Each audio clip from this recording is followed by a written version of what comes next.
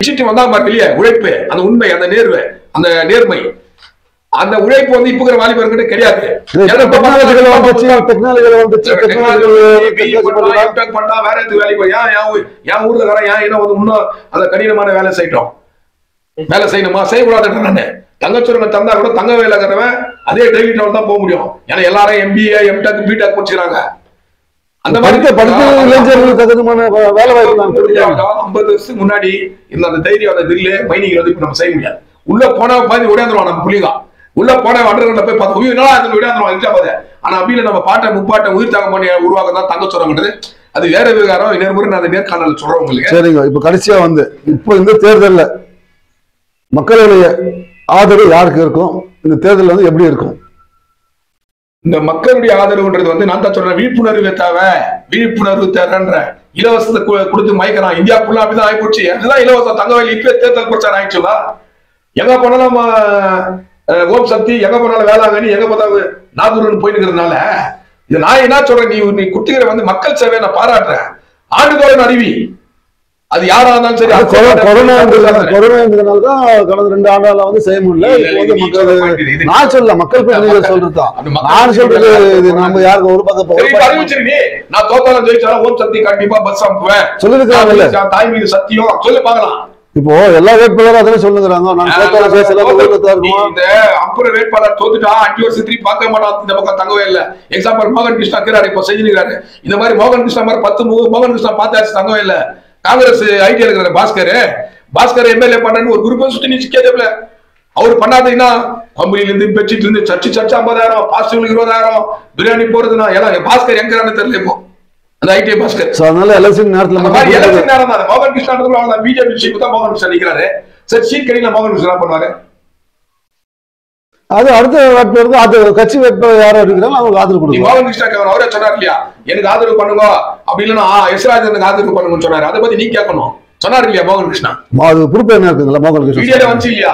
எனக்கு ஆதரவு தெரியுங்க அப்படின்னு நல்ல வேட்பாளர் இந்த ஊர்ல பிறந்த அந்த முன்னாள் எம்எல்ஏ எஸ்ராஜனுக்கு ஆதரவு தெரியும் மோகன் கிருஷ்ணா நீங்க கேட்கணும். சொன்னார் இல்லையா? மோகன் கிருஷ்ணா அந்த மாதிரி சில பிரச்சனைகள்லாம் இருக்குதுங்க ஊர்ல. ஏன் இதை பத்தி நான் சொல்றேன்னு சொன்னா மக்கள் வந்து ஒரே பாதையில் பயணம் செய்ய வேண்டும். நான் எங்க ஆகல சந்திர ஆகல வில்சன் ஆகல என்ன பார்த்தா இவருக்கு இவரு படாசுரஸ் ஆகல அந்த மாதிரி அந்த மாதிரி எல்லாம் இல்ல. நீ வந்து அது ஒரு பக்கம் வச்சுக்கோ. உன்னுடைய வெறுப்பு அந்த மோதலை வச்சுக்கோ. தேர்தல் வரும்போது வேட்பாளரும் கூட மக்களை சந்திக்கணும். யாரை எதிர்ச்சாலும் அந்த வேட்பாளர் யார்? நான் ஜெயிக்கணும் எம்எல்ஏ வேட்பாளர். கொஞ்சம் இறங்கி நீ போன வச்சுக்கிட்ட உனக்கு பிரச்சனை அப்படி வச்சுக்கப்பா. நீ எனக்கு எம்எல்ஏ பண்ணுங்க நான் உனக்கு எல்லாமே நிக்கிறேன். சப்போர்ட் பண்றேன் நீ வேட்பாளர் போகணும். எந்த வேட்பாளரும் வந்து யாரும் வந்து மக்கள் யாரும் தேர்தல் நேரத்தில் தானே எல்லாம் நிக்கிறாரு ஒரு முறை கேசி முரளிவர் அண்ணா அவரு நின்னாரு. அந்த மாதிரி யாரா நிக்கிறான்னு பார்க்கலாம். என்னுடைய சப்போர்ட் ஊருக்காரு பண்ணோன்றான். தங்கவயல பிறந்து வந்தவங்களுக்கு ஆதரவு. நிக்கிற வேட்பாளர் என்ன பண்ணனா உனக்கு யாரும் ஆவாதவங்களுக்கு கொஞ்சம் இறங்கி கூட்டி இப்ப கூட்டி ஆதரவு கூடான்னு கேட்கணும். இல்லைன்னா ஊர் அவ்வளவுதான் தங்கவயல நான் அதுக்கு ஊரா இருந்தாலும் ஊர் ஒரு சூறாயிரம் போடுறேன் நீ அடிமையாக போற அகதிகால கூட மாறலாம். இன்னைக்கு ஒரு போலீஸ் ஸ்டேஷன் போனவே ஏ குறிப்பா கோபாலத்துறை சொல்றேன் தமிழ் யாரும் மதிக்கிறது இல்ல எந்த அரசு அலுவலகத்தையும் நீ எந்த ஆபீஸ்ல போ கவர்மெண்ட் ஆபீஸ் யாரும் மதிக்கிறாங்களா? இல்ல ஒரு பக்கம் இருந்தாலும். தங்கவாயில் அது அது ஒரு பக்கம் இருந்தாலும் இப்ப நம்ம கர்நாடகா மாநிலம் எங்கேயும் மதிப்பே இல்லை. அப்படி இதெல்லாம் நீங்க- ஒரு உரிமை நீ போராடணும் பண்ணணும் நீங்க அப்படி சொல்ல போறீங்கன்னாக்கா தமிழர்கள் எத்தனை பேர் ஐஏஎஸ் ஆபீசர் இருக்கிறாங்க எத்தனை பேர் செக்ரட்டரி போஸ்ட்ல இருக்கிறாங்க அவன் தமிழ் பேசுக்கு பயப்படுறாங்க. நம்ம என்ன பண்ண முடியும்? இல்ல அதான் நீ சொல்றீங்க.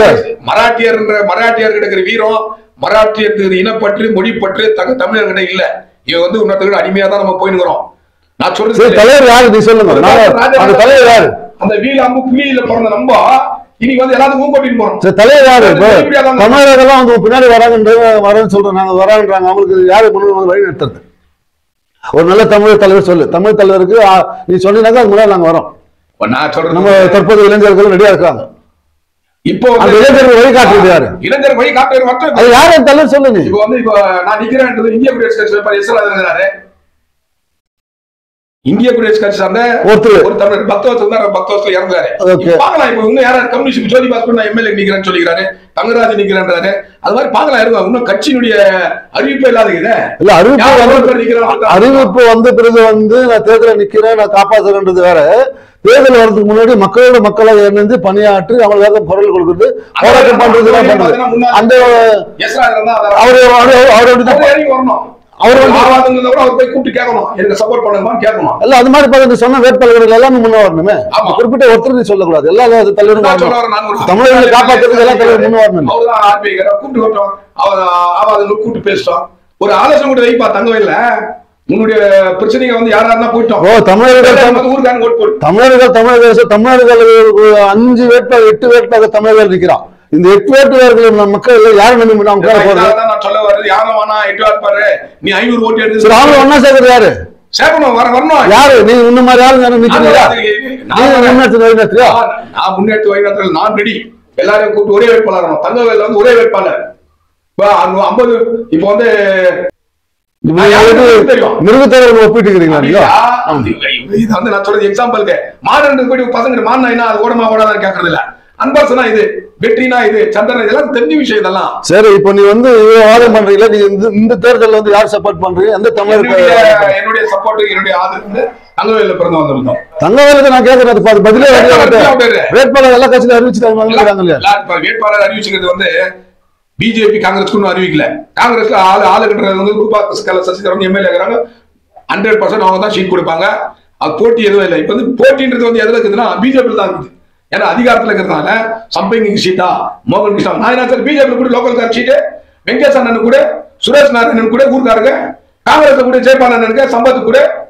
பா எக்ஸாம் பண்ண பாரு இப்ப எப்படி தெரியுமா ஆகி போச்சு. தங்கவேல் இருக்கிறவன் இப்ப ஜெயபாலன் நான் தான் வேட்பாளர் சொன்னது இப்ப திடீர்னு திடீர்னு அவ்வளவு சேர்த்தாங்க கேட்டா கட்சி என்ன ஒண்ணு பண்ணிச்சுட்டாரு அதான் தேசிய கட்சின்றப்போ போய். தேசிய கட்சின்ற கட்சி. ஓ தேசிய கட்சின்றப்போ அவங்க கட்சி தலைமை முடிவு பண்ணல.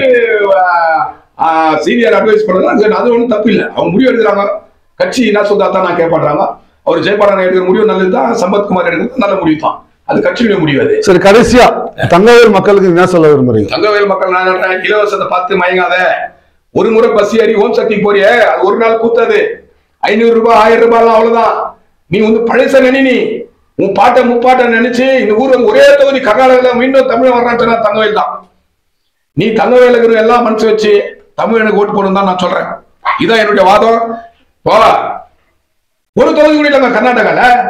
எல்லா ஜாதிக்காரனும் அசம்பிளியில் இருக்கும்போது நம்ம இனத்தை சார்ந்த ஒருத்தர் எம்எல்ஏ வரணுன்றது தான் என்னுடைய கோரிக்கை. சரி இப்போ நமது ஸ்டுடியோக்கு இன்னைக்கு வருகை தந்த அன்பரசன் அவர்கள் வாதம் விவாதத்தில் கலந்து கொண்டார். அவருடைய கருத்துக்கள் எல்லாம் தெரிவிச்சிருக்காரு.